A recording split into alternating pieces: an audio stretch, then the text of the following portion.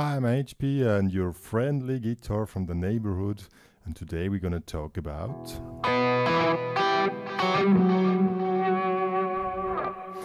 psychedelic guitar because me and my guitar, especially my guitar, feels a little bit psychedelic today. Bringing back the old 70s sounds.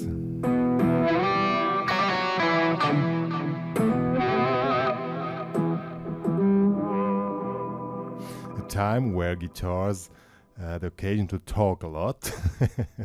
For those who listen to 70s sounds, know what I mean.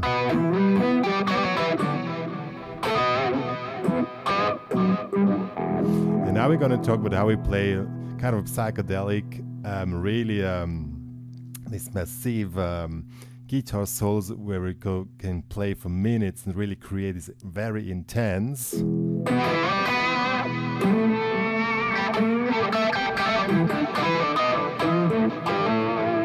very very intense mood.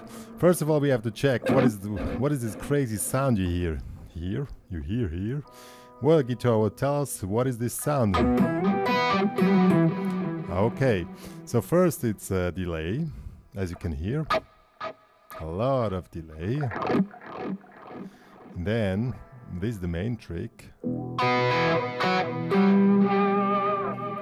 Wah wah, like wow, see?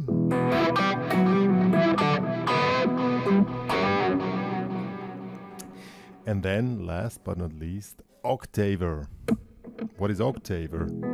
You hear, you hear a second voice here. You have a pitch shifter and set it on minus 12. The, the pitch has to be minus 12. This is a whole octave down. And so here we have this psychedelic stuff. And now let's play some really psychedelic stuff for you. So we were playing in the key of E minor with the open E string, and then we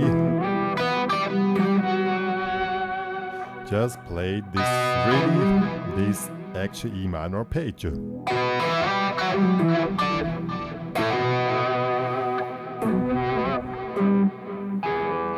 Or you also could play E minor pentatonics.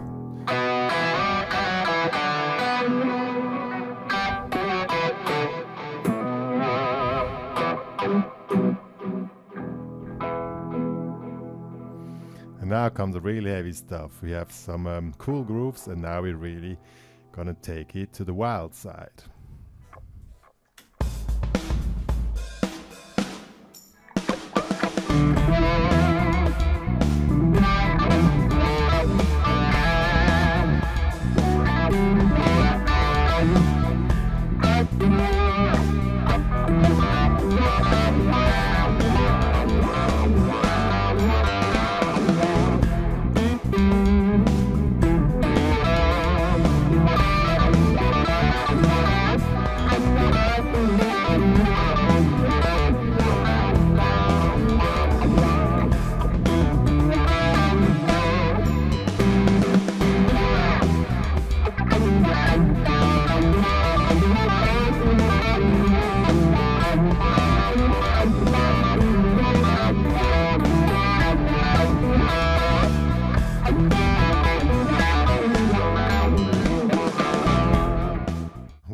Play here now. Now we switch off the delay, actually, just actually E minor pentatonics. Basically, it licks like this. So we have here the E minor pentatonics. And now we. What I use a lot of funky tunes is this sextile uh, entering lick. See, with the open string.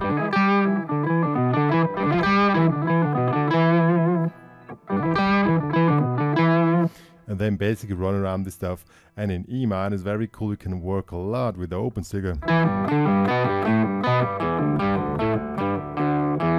See, you can always go over the open string here and just move down the pentatonic.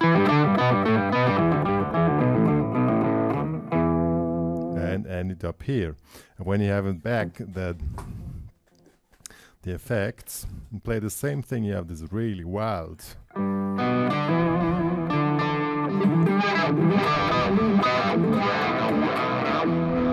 that's the whole thing. It's not really too hard to play. It's basically you have to play very precise because you have a lot of delay here, and if you don't play precise, you really mess it up. And the rest is just go wild.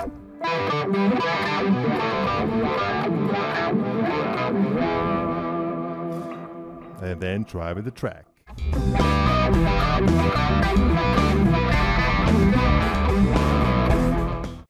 Yeah, that was psychedelic guitar.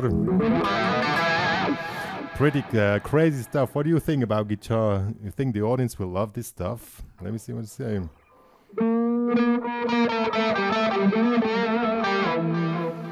Ah, okay, I translate for what my guitar told me. I think some of you might love it. some of you might think it's too, that is way, way off this sound or this kind of playing. But get into the music of 70s and these really long and wild guitar solos or long instrumental solos, which are very great and created this psychedelic effect at that time.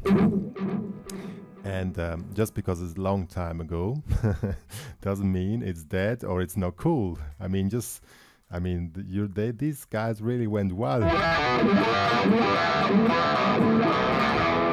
using a lot of these new uh, effects, and that was really crazy time. And you should not skip the 70s just because you were not born at that time.